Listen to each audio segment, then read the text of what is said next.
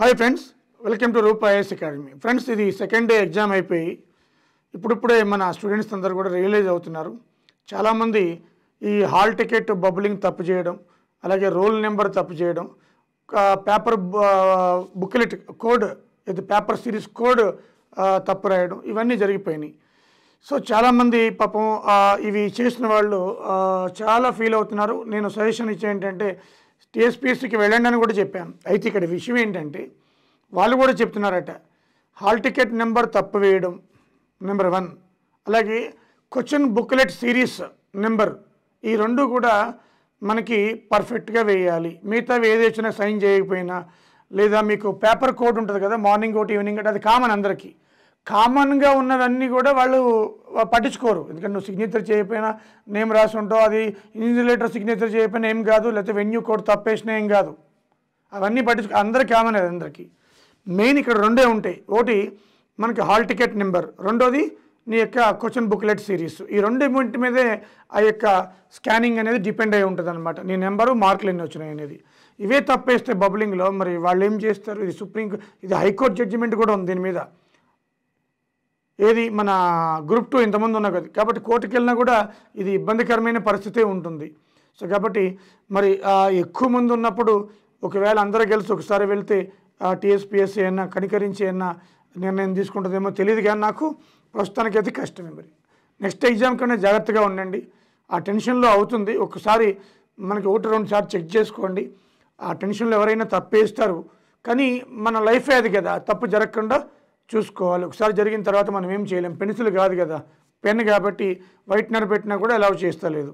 So ఇది ముఖ్యంగా ఇది గ్రహించవలసింది. నేను చాలా వీడియోస్ చెప్పాను. మేము మాక్ టెస్ట్లు పెట్టినప్పుడు కూడా మేము ఇచ్చినాం మీకు. అది సేమ్ ఓఎంఆర్ షీట్స్ ఇచ్చినాం. ప్రాక్టీస్ అవుతుందని. దానికోసమే ఎయిటీ టెస్టులు పెట్టాను నేను. ప్రాక్టీస్ అవుతుందని.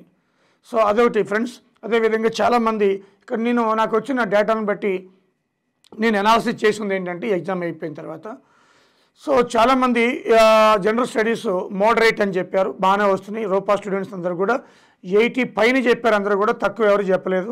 ఎక్కడో ఒకరో కాదు. చదివే వాళ్ళందరూ కూడా ఈ ఫీల్డ్లో ఉన్నవాళ్ళు త్రీ ఫోర్ ఇయర్స్ నుంచి ఈ ఫీల్డ్లో ఉన్న వాళ్ళందరూ కూడా నైంటీ దాటుతున్నాయి. సో హండ్రెడ్ వన్ ట్వెల్వ్ వచ్చిన స్టూడెంట్స్ కూడా ఉన్నారు మనకి. సో అది దట్ అది తర్వాత మార్చు చూసుకుందాం. ఏది మనకి లాస్ట్లో రిజల్ట్ వచ్చిన తర్వాత ఇప్పుడు కాదు. ఇవన్నీ కూడా మనం రిజల్ట్ వచ్చిన తర్వాత మాట్లాడుకుందాం. బట్ టెక్నికల్ విషయానికి వస్తే చాలామంది ఇక్కడ రెండు విధాలుగా మీరు ఏం తప్పు చేశారో నేను చెప్తాను ఇక్కడ. తప్పు ఎక్కడ జరిగింది చాలామందికి? అంటే చాలామంది మనకి జిఎస్ నెగ్లెక్ట్ చేసిన వాళ్ళు కోర్ మీద బాగా కాన్సన్ట్రేషన్ చేశారు. నాకు తెలుసున్న స్టూడెంట్సే మేము గేట్లో తోపు ఐఏఎస్లో తోపు మేము తురుము అని చెప్పి చేశారు చెప్పారు. జనరల్ స్టడీస్ ఏముంది? ఇంపార్టెంట్ సబ్జెక్టులు ఉంటే చదువు చాలు. మీ ఫ్రీడమ్ మూమెంట్ నుంచి వస్తాయి కదా ఎక్కువ. వాళ్ళే చెప్పడం. So freedom movement Telangana subjects ఇవి మేము చదువుకుంటాం మెయిన్ మెయిన్ సబ్జెక్ట్స్ అని చెప్పి నెగ్లెక్ట్ చేశారు. సో కోరు బాగా చదివి జిఎస్ నెగ్లెక్ట్ చేసినప్పుడు జిఎస్ పేపర్ చూస్తారు కదా అంత ఈజీ పేపర్ ఏం కాదు అది. ఎబో మోడరేట్ అది. మోడరేట్ కూడా అనడానికి లేదు. కాబట్టి అక్కడ జిఎస్లో ఎత్తిపోయింది. పోనీ కోర్ బాగా చేశారంటే కోర్లు కూడా అంతంత మాత్రమే. సో కోర్ కూడా టఫ్గా ఇచ్చాడు first time history of civil engineering ఏడబ్ల్యూజీ ఇంత టఫ్గా రావడం ఇన్ని ప్రాబ్లమేటిక్ క్వశ్చన్స్ రావడం. సో కాబట్టి ఇప్పుడు వీళ్ళు ఏమయ్యారు? కోర్ మీదే కాన్సన్ట్రేషన్ చేసిన వాళ్ళు ఏమయ్యారు? ఇటు కోరు సరిగా చేయలేదు. ఇటు జిఎస్ కూడా ఎత్తిపోయింది. అలా కాకుండా రెండో బ్యాచ్ చెప్తాను. రెండో బ్యాచ్ వాళ్ళు ఏంటంటే ఇటు జిఎస్ బాగా చదివి కమాండ్ పెట్టుకొని జన ఈ ఏ- ఈ టెక్నికల్ కూడా బ్యాలెన్స్ చేసిన వాళ్ళు రెండు యావరేజ్ తీసుకొచ్చారనమాట అంటే నైంటీ ఇక్కడ నైంటీ అనుకోండి one eighty plus ninety two sixty above వస్తున్నాయి. వాళ్ళు సేఫ్ సైడ్ పడినట్టు అన్నట్టే. సో ఆ విధంగా నేను ఫస్ట్ నుంచి చెప్తున్నాను టెక్నికల్ పిల్లలకి మీరు కోర్ సబ్జెక్ట్ కరెక్టే ఫోర్ ఇయర్స్ బీటెక్ చేసావు మళ్ళీ గేట్ కోచింగ్ ఐఏఎస్ కోచింగ్ తీసుకుంటున్నావు లేదా ఏడబ్ల్యూ టెక్నికల్ కోచింగ్ తీసుకుంటున్నావు కానీ జనరల్ స్టడీస్ నెగ్లెక్ట్ చేయొద్దు అని ఫస్ట్ నుంచి చెప్పుకుంటూ వచ్చాను నేను. సో ఈ రోజున మనకి టెక్నికల్ సబ్జెక్టు పోనీ హండ్రెడ్ దాటుతాయంటే ఆ పేపర్ అలా కూడా లేదు. ఒక డెబ్బై ఐదు ఎనభై పెట్టేటట్టు ఉన్నాయి బాగా చదివేవాడు నైంటీ నైంటీ ప్లస్ అటు ఇటు. సో ఆ విధంగా ఉంది పేపర్. అంత టఫ్గా ఉంది. అన్ని ప్రాబ్లమేటిక్ ఉన్నాయి. టైం సరిపోదు. ఇప్పుడు అందరికీ అదే ఎయిటీ నైంటీ మధ్యలో టెక్నికల్ ఉంటారు. బట్ జనరల్ స్టడీస్ మాత్రం ఒకటి హండ్రెడ్ దాడుతున్నాయి ఒకటి నైంటీ దాడుతున్నాయి ఒకటి నైంటీ ఫైవ్ ఒకటి ఎయిటీ. ఇప్పుడు డిసైడ్ చేసేది ఎవరు అంటే జనరల్ స్టడీస్ పేపరే డిసైడ్ చేస్తుంది. టెక్నికల్ అందరూ కూడా ఈ కాంపిటీషన్లో ఉన్న వాళ్ళు అక్కడెక్కడే ఉంటారనమాట ఇది గుర్తుపెట్టుకోండి. ఇది జరిగిపోయింది కాబట్టి ఇక దీన్ని వదిలేసేయండి. పెయిన్ఫుల్గా ఫీల్ అయినా మీరు ఏం చేసినా కూడా ఇక జరిగింది ఏదో జరిగిపోయింది ఎంత ఫీల్ అయినా రాదు. ఇక పక్కన పెడదాం. సో నెక్స్ట్ స్టెప్ ఏంటంటే మీరందరూ కూడా సీరియస్ ఆస్పిరెంట్స్ అందరూ కూడా నెక్స్ట్ స్టెప్ మీ కళ్ళ ముందే మనకి ఏఈ ఉంది టీపీబీఓ ఉంది పిఎల్ ఉంది. మెకానికల్ వాళ్ళైతే ఏఎంవిఏ కూడా ఉంది. మీ కళ్ళ ముందు ఉన్నాయి ఇవన్నీ కూడా. నెక్స్ట్ సో కాబట్టి ఇవి జరిగిపోయింది మనం తీసుకురాలేము అయిపోయింది. నెక్స్ట్ అయినా కూడా మీరు ఈ ఏఈ మీద ఫోకస్ చేయండి ప్రజెంట్ ఫస్ట్ నెక్స్ట్ ఏఈ కాబట్టి. ఇప్పుడు ఇప్పుడు కూడా మీరు నెక్స్ట్ ఏఈ కూడా డిసైడ్ చేసేది ఏదంటే పేపర్ వన్నే డిసైడ్ చేస్తుంది. Paper one. గుర్తుపెట్టుకోండి మళ్ళీ చెప్తున్నాను. నెక్స్ట్ ఏని కూడా డిసైడ్ చేసేది పేపర్ వన్నే. ఎందుకంటే paper one general studies and ability paper two technical కాబట్టి ఇక్కడ మీకు ఈ పేపర్ టూకి సంబంధించి ఇది వన్ ఫిఫ్టీ మార్క్సే. ఇది వన్ ఫిఫ్టీ మార్క్స్ అలాగే పేపర్ వన్ కూడా వన్ ఫిఫ్టీ మార్క్స్. సో ఇక్కడ ఈ డిప్లొమా లెవెల్ స్టాండర్డ్స్ కాబట్టి డిప్లొమా లెవెల్ కాబట్టి అందరూ కూడా ఒకే విధంగా ఉంటుందన్నమాట. సో అందరికీ ఒకే విధంగా స్కోర్ దగ్గర దగ్గర వచ్చేస్తారనమాట ఇక్కడ. సో ఇప్పుడు కూడా ఏఈలో కూడా మనకి డిసైడింగ్ చేసేది ఫ్యాక్టర్ ఏంటి అంటే మనకి పేపర్ వన్నే ఈ పేపర్ వన్లో ఎంత ఎక్కువ స్కోర్ చేస్తే అంత ఎక్కువ మార్కులు వస్తాయి మనకి. ఫ్రెండ్స్ గుర్తుపెట్టుకోండి. మీరు చూశారు ఎలా ఉందో. ఇక డిప్లొమా స్టాండర్డ్ కాబట్టి అంత ఈజీగా ఇస్తాడని నేనేం చెప్పడం లేదు. కాంపిటీషన్ ఎక్కువ ఉంది కాబట్టి ఏ పేపర్ అయినా కూడా ఇప్పుడు వచ్చిన ఏ పేపర్ అయినా పేపర్ వన్ టఫ్గానే ఉంటుంది. టెక్నికల్ ఫస్ట్ టైం టఫ్ ఇవ్వడం ఇక టెక్నికల్ కూడా స్టార్ట్ చేశాడు. ఒత్తడం. వాడు ఎంత ఒత్తాలో అంత ఒత్తేస్తున్నాడు. కాబట్టి మనకి ఇక్కడ ఈ పేపర్ టూ అనేది టెక్నికల్ మనకి దీనికి సంబంధించి మీరు డిప్లొమా స్టాండర్డ్ కాబట్టి బీటెక్ వాళ్ళు ఎంటెక్ వాళ్ళు అందరూ రాస్తారు కాబట్టి ఇక్కడ స్టాండర్డ్స్ అనేది ఇప్పుడున్నట్టు ఉండదు ఉండకపోవచ్చు పేపర్ అంత ఉండదు కూడా హండ్రెడ్ పర్సెంట్ కాబట్టి డిసైడ్ చేసేదంతా కూడా పని ఉన్నా కూడా మీకు ఈ వన్ ఫిఫ్టీలో తేడా వచ్చేది ఏంటంటే ఒక ఐదు పది మార్కులు తేడా వస్తాయి చదివినోడికి అంత ఎక్స్ట్రాడినరీ వారికి కూడా. ఇక్కడ అలా కాదు నలభై యాభైలో పోతారు. అంత వేరియేషన్ వస్తుంది. కాబట్టి ఇప్పటికైనా డోంట్ నెగ్లెక్ట్ జనరల్ స్టడీస్ అదొకటి చూసుకోండి. అదేవిధంగా నెక్స్ట్ చాలామంది పిల్లలు పాపం మూడ్ ఆఫ్లో ఉన్నారు. చాలామంది. సో మీరు గాడ్ మీరు ఏ పోస్ట్కి సరిపోతారో ఆ పోస్ట్కి డిజైన్ చేసి పెట్టి ఉంటాడు. మీ డ్యూటీ మీరు చేయండి. చక్కగా మీరు నెక్స్ట్ ఉన్న ఈ ఎగ్జామ్స్కి అన్నీ కూడా ప్రిపేర్ కండి మిమ్మల్ని ఎక్కడ అక్యూములేట్ చేయాలో అక్కడ అక్యూములేట్ చేస్తాడు గాడ్. Don't worry. సో ఆ శారో నుంచి బయటకు వచ్చేసేయండి. హ్యాపీగా. సో కాబట్టి ఇప్పుడు ఏఈ మీ కళ్ళ మీద ఉంది. అది ఒక ఆ గ్రేప్స్ బంచ్ ఎలా ఉంది కాబట్టి దాన్ని క్రాక్ చేయడానికి ప్రయత్నించండి. అదేవిధంగా మా స్టూడెంట్స్ అడుగుతున్నారు సార్ ఏఈ మనకి మీరు ఏమైనా రివిజన్ బ్యాచ్ పెడతారా అని?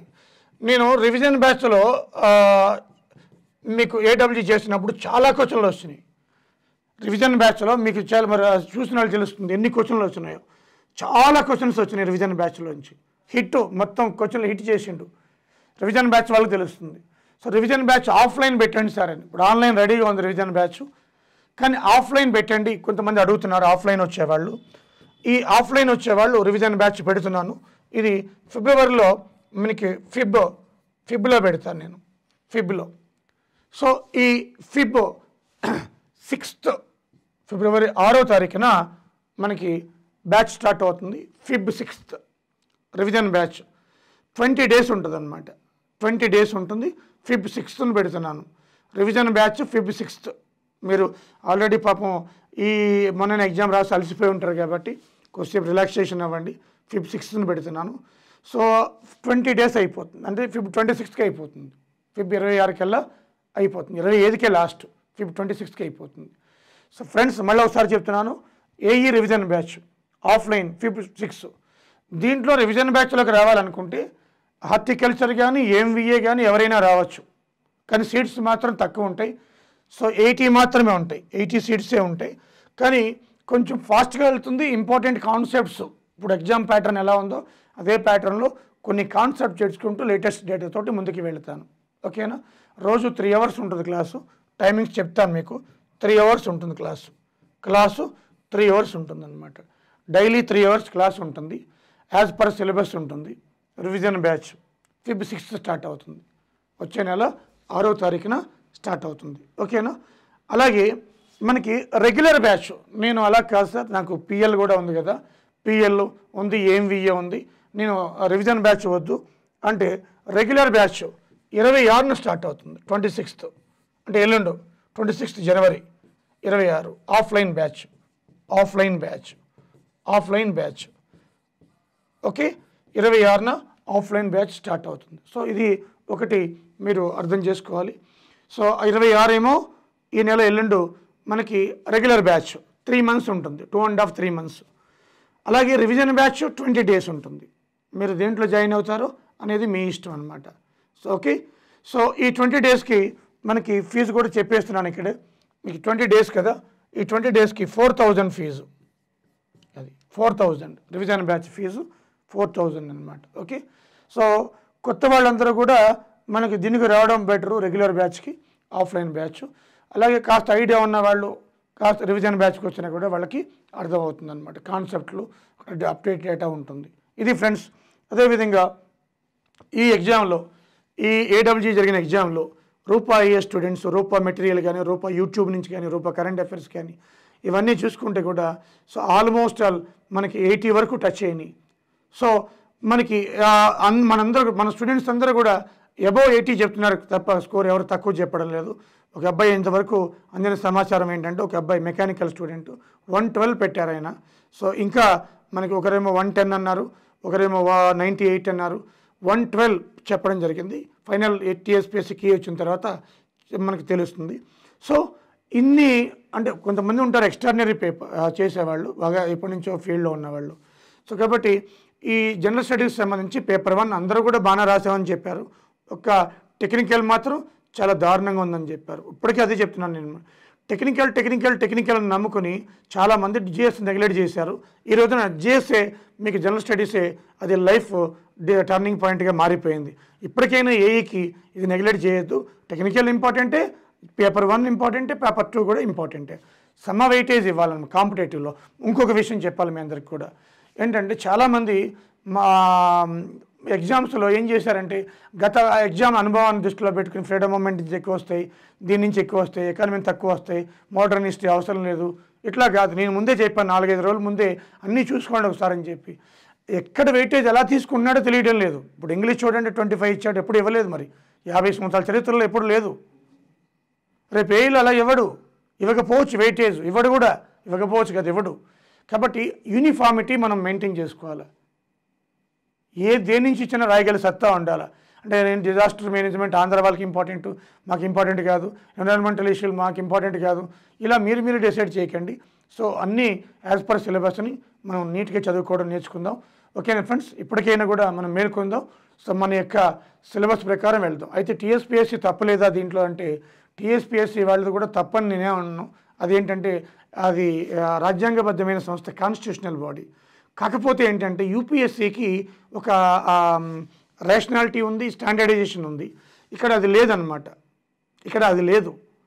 సో అది లేకుండా మనకి వాళ్ళ క్వశ్చన్స్ చూడండి. ఇంతకుముందు ఎన్నడూ ఇంగ్లీషు ఇరవై ఐదు రాలేదు. సో ఇంతకుముందు ఎన్నడూ కూడా ఇన్ని క్వశ్చన్స్ మనం చూడలేదు కూడా. సో కాబట్టి ఆ సిలబస్ కూడా అవుట్ ఆఫ్ వెళ్ళాడు మూడు క్వశ్చన్స్ ఒకటేమో క్వశ్చన్ తప్పు ఇచ్చాడు సరే అవి తీసేసినా కూడా అవుట్ ఆఫ్ సిలబస్ వెళుతున్నారు. సో ఇది ఆ ఐడియా ఉండాలి వాళ్ళకి. అరే సిలబస్ ఇది కదా. సిలబస్ అవగాహన ఉన్న వాళ్ళకే పేపర్ ఇవ్వాలి. మరి వరల్డ్ హిస్టరీ తీసుకొచ్చి ఇస్తే దీంట్లో ఎట్లమ్మా? సో అలా మనకి కొన్ని క్వశ్చన్స్ కూడా అలా ఉన్నాయి. అవి ఏంటో చెప్పాను మీకు ఆల్రెడీ కూడా. అవి చూసుకోండి. సో అదేవిధంగా ఇక మీరు ఫోకస్ ఫస్ట్ ఏం చేస్తారంటే ఏఈ మీద టీపీబీఓ మీద అలాగే పిఎల్ పిఎల్ అంటే మే జూన్లో ఉంటుంది. ఫస్ట్ తక్షణం మీకు ఏఈ ఉంది కాబట్టి ఏఈ మీద ఫోకస్ చేయండి. ఓకేనా ఫ్రెండ్స్? అదేవిధంగా ఫ్రెండ్స్ ఇప్పుడు ఈ వీడియోలో ఏఈ రివిజన్ బ్యాచ్ ఎయిటీ మెంబర్సే. మీరు ఎంతమంది రావాలనుకుంటున్నారో అంటే ఎంతమంది ఎవరు వస్తారో మనకి వాళ్ళు ఎన్రోల్ కా అంటే అక్కడ లింక్ పెడుతున్నాను.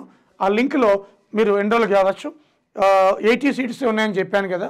సో ఎయిటీ ఎయిటీ సీట్స్కే పర్మిషన్ ఉంటుంది. కాబట్టి మీకు త్రీ అవర్స్ ఉంటుంది.